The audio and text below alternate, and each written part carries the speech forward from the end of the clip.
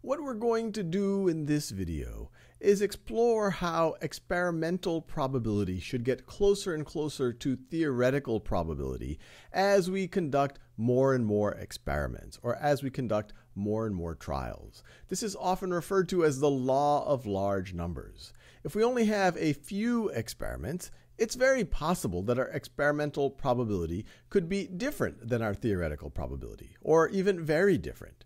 But as we have many, many more experiments, thousands, millions, billions of experiments, the probability that the experimental and the theoretical probabilities are very different goes down dramatically. But let's get an intuitive sense for it. This right over here is a simulation created by Macmillan USA. I'll provide the link as an annotation.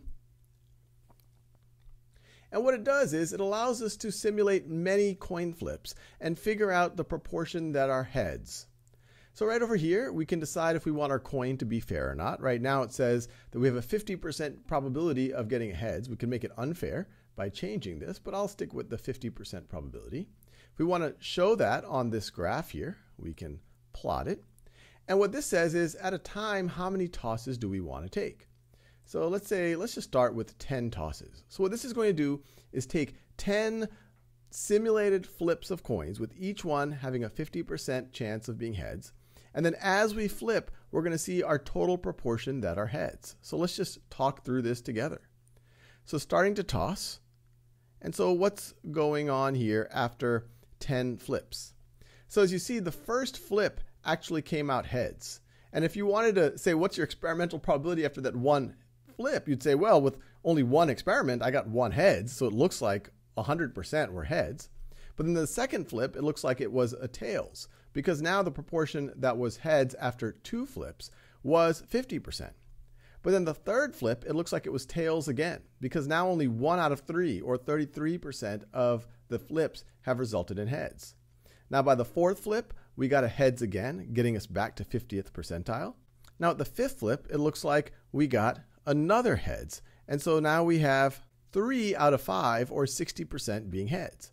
And so the general takeaway here is when you have one, two, three, four, five, or six experiments, it's completely plausible that your experimental proportion, your experimental probability, diverges from the real probability. And this even continues all the way until we get to our ninth or tenth tosses. But what happens if we do way more tosses? So now I'm going to do another well, let's just do another 200 tosses and see what happens. So I'm just going to keep tossing here. And you can see, wow, look at this. There was a big run of getting a lot of heads right over here. And then it looks like there's actually a run of getting a bunch of tails right over here. And then a little run of heads, tails, and then another run of heads. And notice, even after 215 tosses, our experimental probability has still is still reasonably different than our theoretical probability. So let's do another 200 and see if we can converge these over time. And what we're seeing in real time here should be the law of large numbers. As our number of tosses get larger and larger and larger, the probability that these two are very different goes down and down and down. Yes, you will get moments where you could even get 10 heads in a row or even 20 heads in a row, but over time, those will be balanced by the times where you're getting disproportionate number of tails. So I'm just going to keep going. We're now at almost 800 tosses. And you see, now we are converging. We, now this is, we're going to cross a 1,000 tosses soon. And you can see that our proportion here is now 51%. It's getting close now. We're at 50.6%. And I could just keep tossing. This is 1100. We're going to approach 1200 or 1300 flips right over here.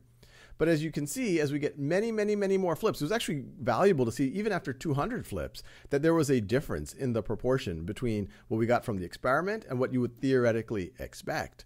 But as we get to many, many more flips, now we're at 1,210, we're getting pretty close to 50% of them turning out heads, but we could keep tossing it more and more and more. And what we'll see is as we get larger and larger and larger, it is likely that we're going to get closer and closer and closer to 50%.